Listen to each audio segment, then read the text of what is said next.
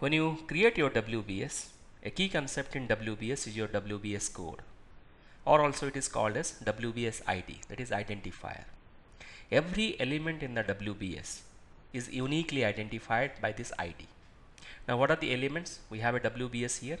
The elements are this is one element, this is another element. Each one or each item in the WBS is an element and each item can be uniquely identified by this WBS ID or identifier or WBS code.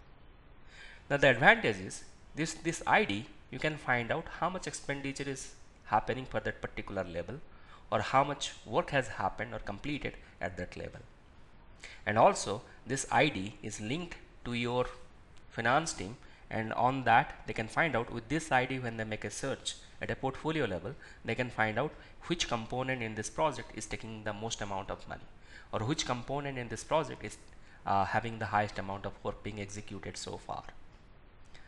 Now to see the WBS ID or as Microsoft project calls it the WBS code we have to enable a command. To do that we have to go to format tab in the Gantt chart view.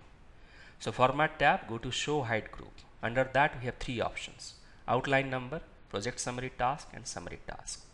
I am going to select the outline number. When I selected it, the WBS ID got populated.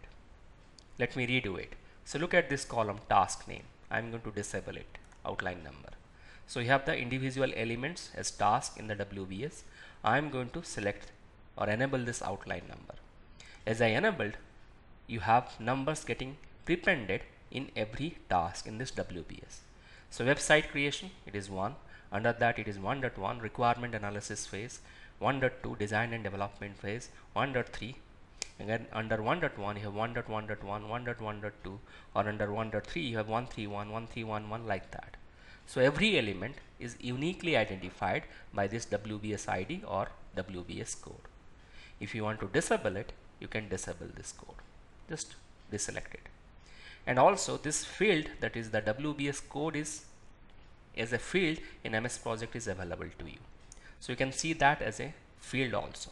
So I'm going to enable it again and I'm going to enter an inbuilt field or a column here that is WBS and when I say WBS just type WBS the code value or the WBS ID for every element is populated in this column so this is another way to see the unique identifier for every element in the work breakdown structure.